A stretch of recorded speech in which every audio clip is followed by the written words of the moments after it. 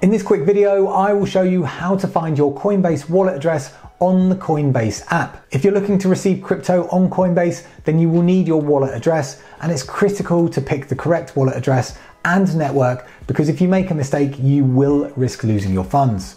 As always, nothing in this video is financial advice and I accept no liability for you losing your crypto or sending your crypto to the wrong address. So if in doubt, send a small test amount of crypto first. So to find your wallet address on the Coinbase app, press the receive button on the top right.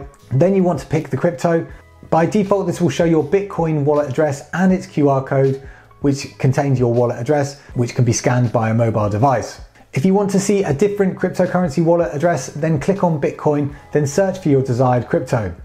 In this example, I'm going to pick Ethereum. If there are multiple networks, and in this case there is, you can choose the one you will be sending your crypto over. Once you select your network, you may receive a warning stating that if you select the wrong network, you risk losing your funds. And if in doubt, then you should send a small test amount first.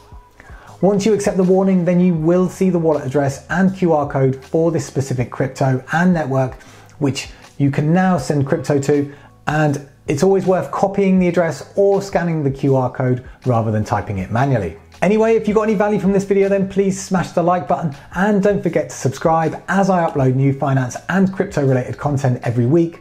And now that you've got your wallet address, you may be wondering what's the difference between a coin and a token. So I recommend watching this video next. It's been Ollie from Get Geek Finance. Thanks for watching and I'll catch you in the next one.